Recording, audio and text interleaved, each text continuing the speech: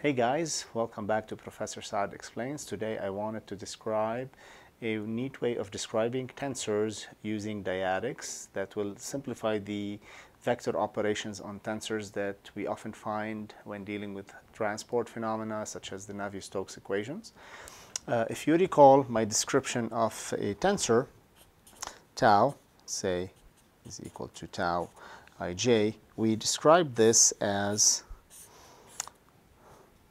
i being the index of the face, so x face or y face, and j being the direction in which the tensor is acting. So this component, for example, would be acting, this component A would be acting on an x face in the x direction. This would be tau xx or tau 1 y1, 1, 1. And if this component is B, this would be acting on an x face in the y direction. Um, and this one would be acting on a y face in the x direction and this one would be acting on a y face in the y direction okay?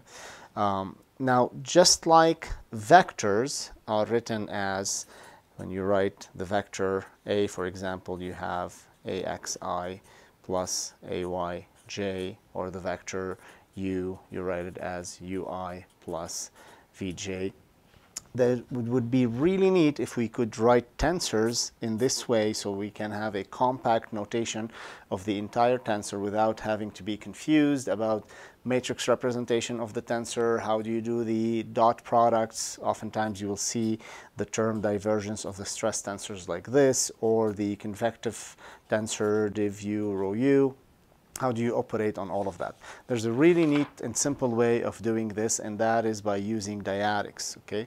Again, the same way that you would write a vector by using the unit vectors, so this would be ui plus vj, we can write a tensor, just notation, as tau is equal to um, tau xx i i plus tau xy i j plus tau y x j i plus tau z, uh, sorry, y y j j. Now notice that this is just simply a notation. This doesn't mean that tau xx acts in a II direction or ij direction like a 45 degree angle. No, it's not. This is simply saying um, that this number here, this component here, is simply acting on an I face in the j direction. Now you might say, well, you have the indices here. Well, I'm having these indices because they just help me track which component belongs to what direction. But these indices do not these indices themselves do not contain directional information. The directional information only comes through these unit vectors over here. I might as well write the tensor as aii plus bij plus cji plus djj then the only way you could know which component belongs to what, which number belongs to what direction combination, what face and direction, is by looking at this unit vector combo. So be very careful about that distinction. When we write tau xx, tau xy, tau yx, etc., these are descriptive subscripts, but in and of themselves, they do not contain this, um, this unit vector directional information. Now, once you write, once you accept that you can write a tensor like this, then it's a very easy thing to treat uh, divergence operations on the tensor as simply just distributive dot products. So if you treat the nabla operator as a vector and then you treat the tensor with this dyadic notation, then you could do some really cool things. So for example, if you were to do the div tau, then you would write this as simply the dot product of d by dxi plus d by dyj dotted with, um, I'm going to do aii plus bij plus cji plus djj. Okay? And then you simply carry out the multiplication as if you're just doing dot products. So d by dxi dotted with aii, a now you simply do this dot product and then you apply this um, on this entire um, on the entire term over here okay?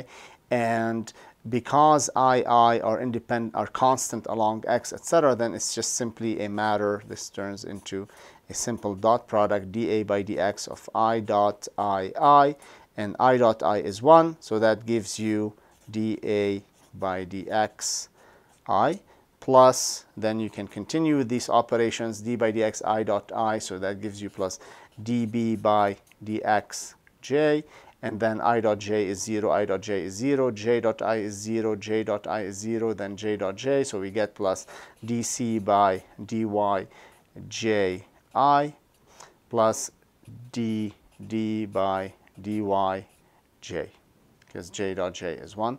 And that's how you carry out these operations. Now, when you are in curvilinear coordinates, you can do the same procedure. You would have ER, E theta, and EZ, but then you would have to be careful that when you, you are applying these derivatives, um, these derivatives on the unit vectors, because the unit vectors, they change with the angle, for example, ER changes as the uh, with with theta and so does theta. E theta it changes with theta. So you have to be very careful as you apply these derivatives because you would have to apply them on the unit vectors themselves. I hope this helps and i'll see you again in another video